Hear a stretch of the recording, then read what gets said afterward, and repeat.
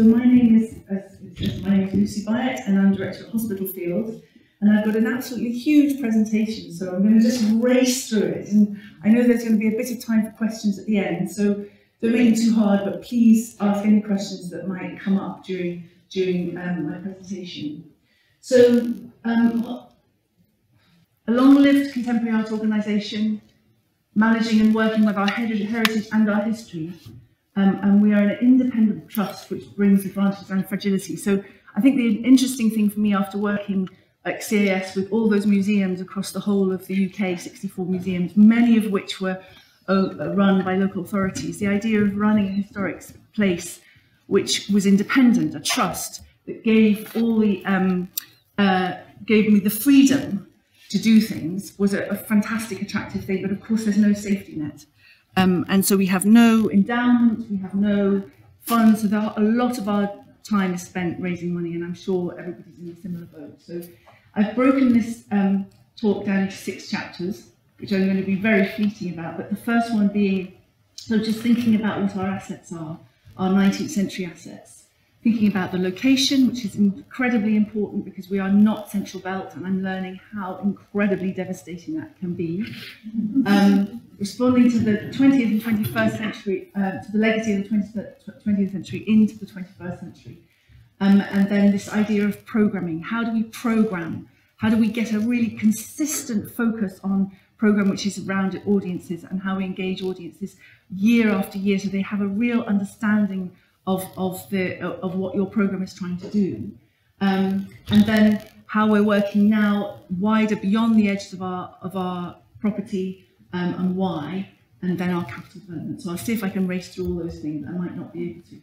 Hospitalfield, we kind of got this sort of strange name, although this is a Victorian building. This was a, a medieval site um, where uh, a monastery was built, a hospital, a hostel to support the abbey in, in Arbroath. So um, that, that, this is the, the origin of our name, and sometimes people turn up with broken arms, but generally we're trying, we, we, we, we embrace our name and, and try and reassociate it away from the National Health Service. Um, and this is this extraordinary facade of the building that an artist called Patrick Allan Fraser developed over 80, over 60 years of him living. Um, he married the last heiress of the estate, and, um, and he was uh, and he, he, he really was very, remained, although he was from Arbroath, he was educated in Europe um, and, and in Edinburgh, and, but he brought his networks back to Arbroath when he married Elizabeth. Um, and so all our collections tell of that story, tell of that 19th century story of his commitment to um, particular artist networks. And this is our picture gallery, so that the, the large sort of projected piece of the building um, probably one of the most important Victorian 19th century um, rooms in Scotland, absolutely as it was when Allan Fraser died in 1890. Um, and then, but he was he wasn't creating his own home. He was creating an institution. He was looking at institutions that were being developed at the time, the V&A in London, the Royal Academy. He was thinking about how you exhibit, how you show collections, but also how you teach, how you support younger artists. He was um, and so these, these are all our, this, this story of uh, Fraser and the buildings that he left behind. So on this side um, is his studio. He left a, a, very clear bequest that he, he, he wrote long before he died, um, and with the idea that he would leave Hospitalfield as a place to support artists. And in the first years when the trust um, first started, so in 1902, it opened as an art school, um, and these enormous studios were built to support the art school. In 1873, his wife died and he built the mausoleum, the mortuary chapel, we call it. Extraordinarily encrusted um, building, beautifully carved, absolutely arts and crafts building. Um, and in the ownership of the council at the moment, which we're, we're negotiating for a, a, a, peppercorn lease so that we can look after it because it's not properly open to the public and it's not, it's sort of it, there's, there's an, I think we feel confident that we will look after it and, and be able to raise money to, to, to restore it properly. Then really within our assets are all our archives, the collections.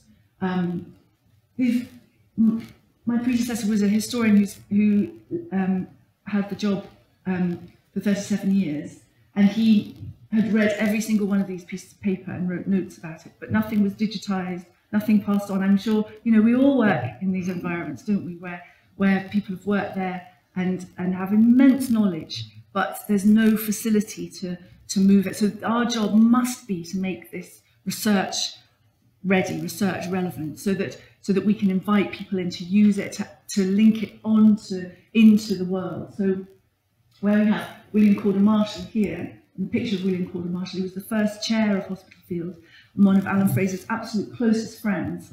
But he also carved part of the Albert Memorial, he carved all the statues on the front of the Royal Academy, and so we those connections. He was a great Scottish sculptor who lived in London. We must make those connections because without making those connections, without articulating the value, the value and connectivity of our collections to, to the rest of the world, then we are, you know, we, we can't take that um, position in research culture that we should be. Um, we also have letters in the archive from Dickens because Allan Fraser was chatting to Dickens about the support of writers and so on. And so making the archive available, making it visible, making these conversations um, uh, uh, present to our audiences is absolutely essential in the future um, as we get as we get this fragile material um, ready, if you like.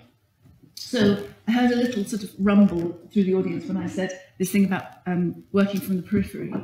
Um, I've never worked in a small town before. I'm completely committed to the idea of the town, the, the city. I am fed up of hearing about cities, about their, their future, about all this sort of um, uh, endless discussion about um, future cities. You know, um, we really need to champion the town, the provinces, the regions, and the struggle to, to among with funders to, to persuade them that we can be ambitious, that we can do world-class programs, that we can develop great relationships with our communities and so on. It is, it is an absolute uphill struggle when you see the proportion of investment into the central belt. Um, and I'm sure many of you run or work for organisations that are at the edges that have amazing important histories and how difficult it is to get that investment. And we, we um, I'll talk a little bit. We did a little, we did an exhibition in the High Street of Arbroath this year, um, uh, a major show that was commissioned by an arts organisation called Artangel, and we had 2,000 visitors, which is tiny. It's a tiny audience. It then went on to Bristol. It had 45,000 visitors, and of course, Bristol couldn't hit all those targets. But we've got to articulate, if we're working in the peripheries, what the values are that beyond just the visitor numbers. We've got to articulate the the health and well-being issues, the, the fact that we're, we're working very closely with the audience, that we are in a development stage, far um, earlier stage perhaps than those towns and cities that have for so long had so much investment. So you can hear my resentment. I'm resentful. um, so here we are at the periphery, so much so that we're right by the sea here. So we have this absolutely beautiful um, context. Um, the caravan site here is as a result of land sales over the years. You can see, you can see this happens to many, many organizations. Uh, Allan Fraser, when he died, one of the biggest landowners, a very successful businessman, at, you know, polymath.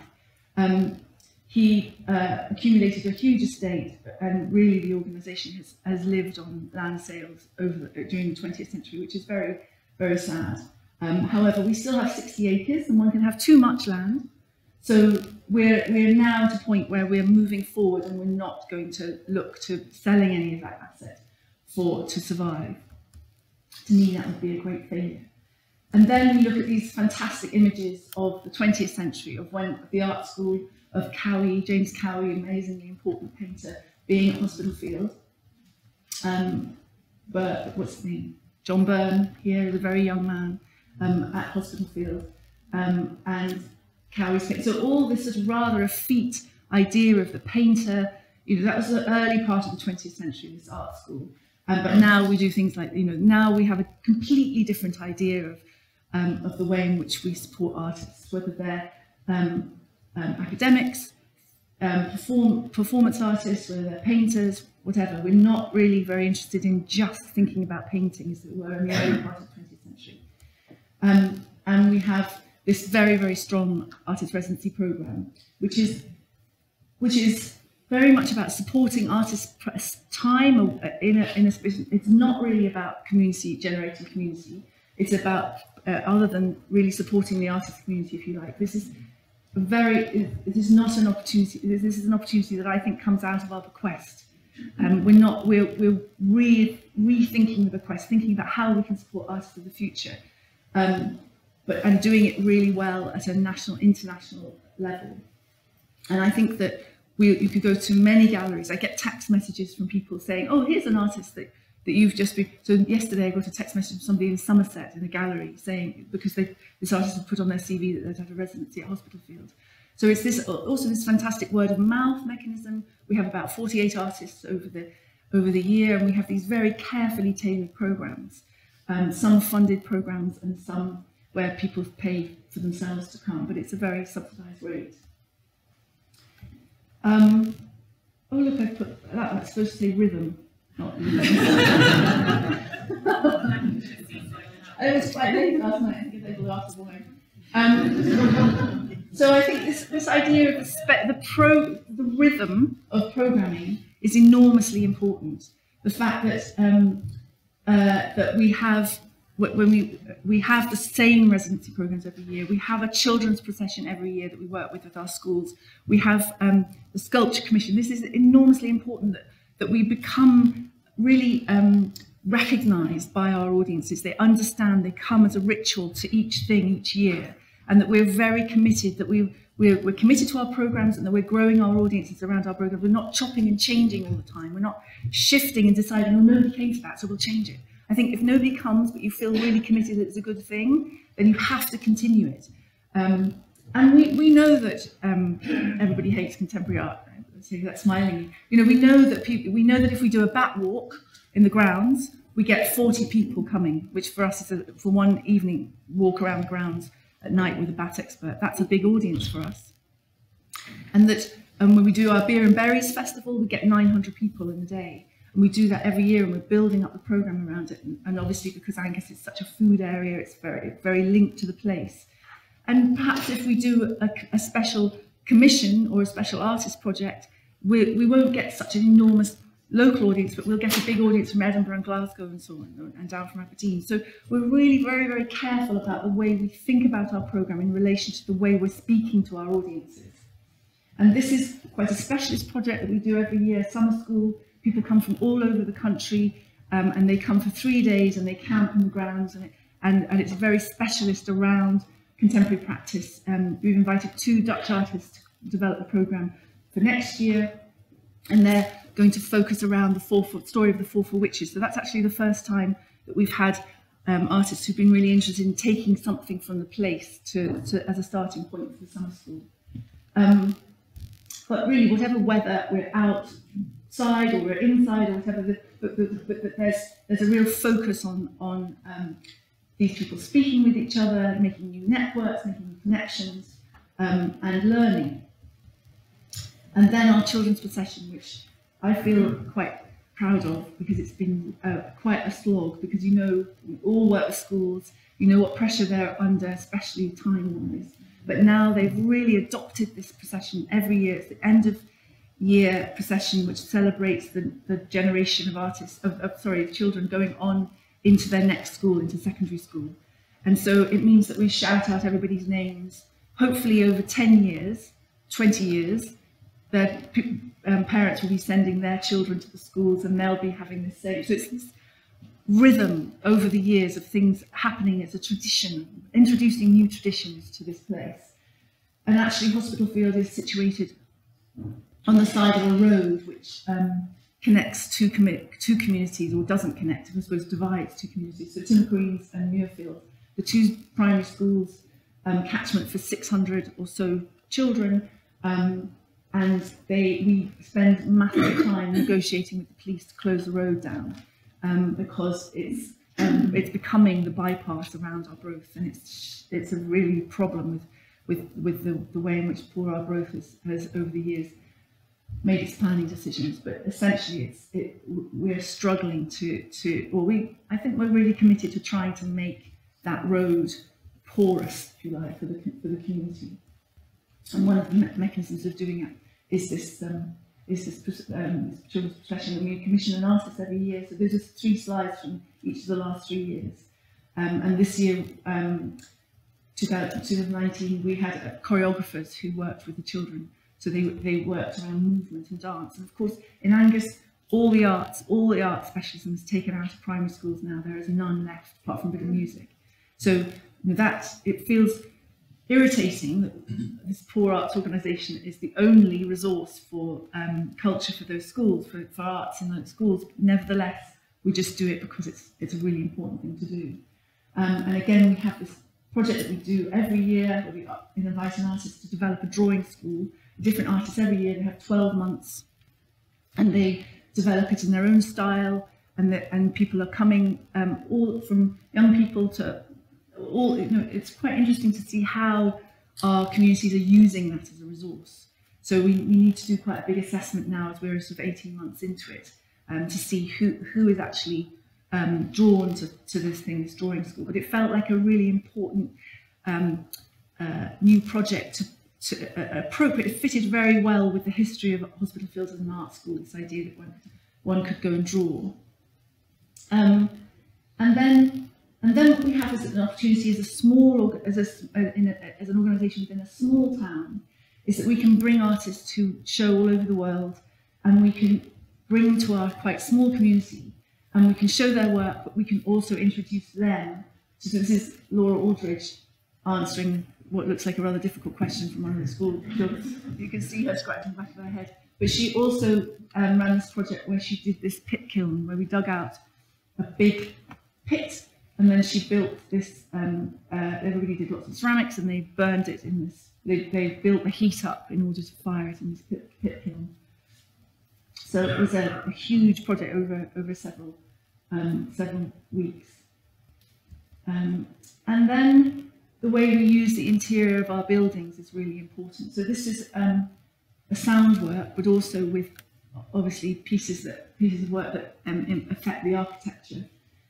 I think we're very good with the way that we use our interiors and our, you know, we're, we're very safe and we keep, you know, um, we're, we're not a, a, registered collection, but we are very careful with the way that we um, uh, maintain the interiors of our, our of our um, building. I heard, I could hear, because I can hear everything that goes on in the corridors, and we have this group of volunteers that come every Friday. And yesterday I heard two talking saying, gosh, you know, it's very great. It's nice being able to go into the rooms, but they have no security. And I thought, oh, that's great. It's really good in a way because what, what we do is we open all the rooms so that when our volunteers come on Friday morning who work on the archives, that they feel they can have access to the whole building. And as soon as they leave, everything's locked up again. And so they have that sense. I must correct them about the fact that it's insecure. But it's quite nice that they have that sense that the building is open to them because that's the intent, that's our intention. This is an artist, a, a, a collaboration between Susanna Stark and Hussein Mirza, who made a, a, a, work using a lot of the skylights in, in the house and the windows. Um, so completely changing the spaces, the interior spaces, by affecting just the, the, the, glazing, but also the sound work. So here, if you can see on this rather pixelated slide, there's a boy sitting on the sofa here, and he's in this room all on his own, which is very nice for him, listening to the sound work that's in the space. So that's a, that's a kind of nice slide because you it's quite interesting that he decided that he was going to sit there and spend time listening to this work. Um, and of course, we invest funds into new new work, into new artwork. And this is a, um, a project by Tamara Henderson, Canadian artist who we had as part of a residency program. And she was making a new work for Glasgow International, the, the big art festival. Um, and then it toured, and now uh, much of this show has been bought by Tate, and it's opening at Tate in December as part of a display. And it's, I suppose, you know, the, the, the, the equivalent within your world, I'm sure, is about the way in which you speak to your in national and international bodies around archaeology, around histor historic um, sites and so on. We must be international. We must take the make the work at Hospitalfield that can go out into the world. And this is an, um, a nice example of something that, that quite by, well, not by accident really, because I've never known an artist work so hard in my life. But Tamara, you know, she, she this is a, a, um, a piece that has found its way with a film that she made at Hospitalfield into, into a very major collection, that's really, really important for, for us. Um, and but at a very unglamorous environment. So, you know, it's very cold at Hospitalfield. So although she looks as though she's wearing a dressing gown, I think it's a coat. Most people wear a lot of clothes there all the time. And, you know, it's not a glamour, and we, we do have to improve the environment. It is, no investment has been made since that 19th century period, really, and we, we absolutely have to update it as an environment. Not only because um, our income is from a little bit of funds from Creative Scotland revenue funding, but um, but we also make about, you know, we have to make about 70% of our income through hiring, hiring Hospitalfield, thinking really, really creatively about how we make partnerships um, in order for um, us to generate an income. This is a this is a, a, a work um, by an artist who I'm going to forget the name. It's terrible. She was quite hard work. but she worked hard too, and she made this amazing. She did make. So this is again another point about work where you support an artist, um, and um, and and then that work goes out into the world. So this has been very published. This is actually my dog that she took a great likeness to. But she, but this work has been published in masses of art magazines and so on, and that's very good for us. It's very good for us to get that, that to be thinking about that. Um, that wider world and how we fit within that wider world. And it's very important for the way that we, we work with communities, the way we work with our local people as well, because it is all about pride and this idea of that we can, um, that, that when the people are aware that we're, we're an organisation that's reaching beyond the edges of the, of, of the town, of the region. And that we feel very proud about bringing this work very locally into Arbroath that would either you would see in London or you'd see, she lives in Athens, so you'd see all over the, the world. And then this is a, a project that we did with a, an artist called Lubaina Himid, who very shortly after this won the Turner Prize. So, you know, it, it, we, we are quite specialists. You know, we as you have your specialisms, we are specialists in the art world, and we, we sort of have a quite a good barometer.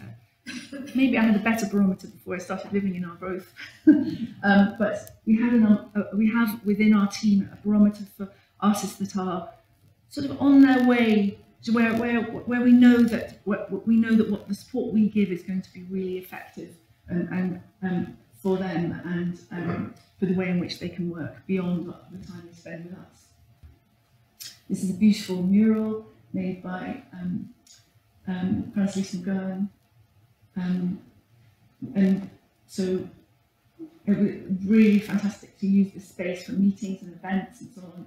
And we then painted it out, which is a very sad day, but it's a, a very lovely commission to be able to use one of our spaces, which obviously clearly hasn't got masses of very important collections in it.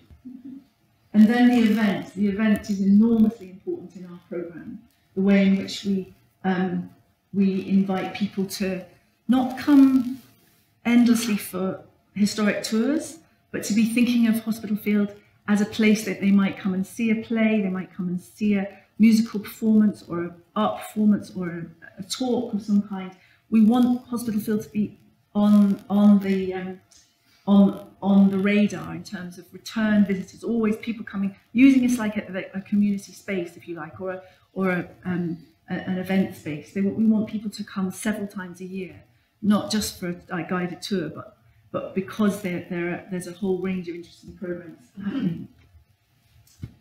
Um, let me skip through this a bit. Just some pretty. This is Commission. Nice pictures because I've just been given a five minute warning.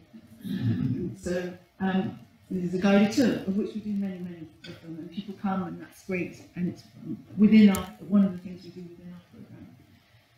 But the Place Partnership Programme is something we, we began at the beginning of last year. We sort of fought quite hard for the funds in, in 2018, Creative Scotland funding, and it, it occurred to me, I had a conversation with somebody from the National Theatre, because we were trying to get them to come and do a production in our Arbroath for 2020, the, uh, the um, 700th year since the Declaration of our Arbroath. One would think they would be champing at the bit to do a thing like that. However, they said, where's the strategy? Where's your cultural strategy? Um, who would be supporting us? And uh, you know, on I got a bit irritated with that. But on reflection, I thought, well, they get their money from central government. They've got all their evaluation to do. They need to know that the partners that they, they choose to work with are hitting the sort of same criteria uh, that, that they need to hit for, to sustain their funding. And Angus has no, not a whiff of a cultural strategy. It doesn't really know how to run its museums. It's just changed, it's just moved its museum, its, its culture and sport out into a charity. It, and, and hospital, and I, it, I began to realise how absolutely essential it is for Hospitalfield to exist within a strong cultural strategy, that we're, we're not just on our own, um, that, that, that the Angus Council, that Angus Alive, understand what we're doing and how that's meeting their targets. But if they've got no targets around culture, then we're, we're not we're no, nowhere on their radar. So part of the Place Partnership, as well as trying to create this festival for 2020, is about is, is about putting some of that investment into getting Angus Alive to um, appoint somebody with some knowledge around culture, because they have nobody in their team who have any, um, uh, to, develop, to devise a cultural strategy. And I'm not really one, I'm a one for doing things. I'm not really one for bits of paper that get dusty on shelves. But I do believe that a, a, a cultural strategy in the guise of an action plan in this situation where you're trying to shift a region that really hasn't embraced culture at all, um, within the context of cultural heritage and museum delivery and delivery of, of important um, historic sites, um, that if we can somehow be a catalyst for a, a roadmap or a plan of some kind, then that, that will serve us in very good stead in the future. And also, um, you know, I do, I, I serve a region in very good stead. I, I, I think that just because we are in, in a peripheral region and a rural region doesn't mean to say we shouldn't have the most excellent exhibitions, the most excellent collection care, the most important um, engagement and education programs. But we're we're so far behind the line, it seems to me that um, that, that that that we need to be working very closely with the strategy, with the strategic aim. So just a few images of the amazing heritage of Arbroath. Has everybody been to the Arbroath Abbey? Incredible, wonderful place, beautiful. You know, when we think of, I mean, I think when you think of Arbroath, do you think of her hypodermic needles running down the high street? Some people do. There are none. Um, but I think um, it has had a bad reputation. However, it is the most gorgeous place. It is a wonderful, wonderful place with a fantastic, it's a high street with a fantastic mercantile history. Um, and we are trying really hard to, to work with the community on their food strategies, their food and drink strategies, um, bringing this exhibition, which is the Andy Holden Natural Selection project, to the High Street, to a derelict building in the High Street, um, and really building our volunteer program and our engagement program around those kinds of exhibitions. Um, and maybe I'll end there because although I could tell you all about our building project, I don't know if that's very interesting for you. I think really your interest is around communities, So maybe I'll stop in relation to thinking about how we, how our influence can somehow affect our place.